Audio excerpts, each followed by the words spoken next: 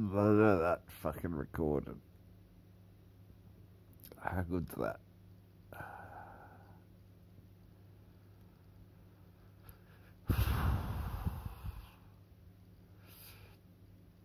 I carried on from the heart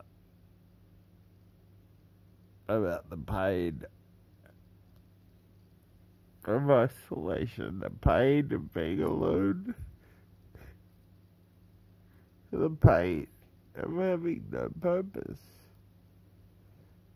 the pain of being the one who has to stand up amongst all this shit and try and be strong to get shit done when all I want to do is buckle and die. I've had enough.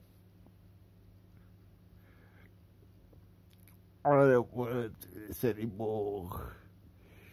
But this is my way out that doesn't shame my family, my parents, my sister, my brother, anyone. I can't.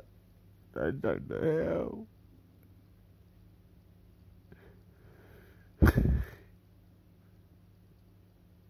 Anyone out there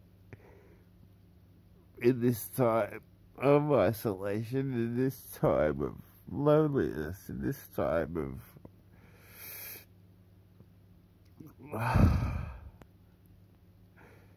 being alone in this time of having to find strength in yourself and fight the fight that you never thought you could. Just be strong. Just do it one more day. Just one more day. Because tomorrow, who knows? That might be the day that changes it all. and I hope it does for you. I hope, I hope you find your happiness.